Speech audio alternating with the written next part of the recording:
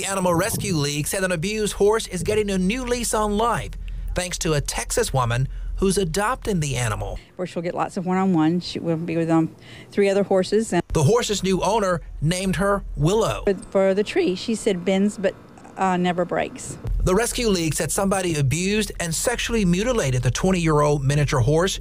They even cut off her tail. Horrific. It was just left everybody just dumbfounded. We were just stunned when we saw her. Morrow wouldn't give us the exact location, but it may have been somewhere in Yazoo County. He was stunned when he opened the storage room to clean it out to find a little Willow right there with um, the condition she was in, just her and concrete floor and a bucket of water. That's how investigators said a relative of the horse's owner found her about five weeks ago, and they think that's the person who took advantage of Willow.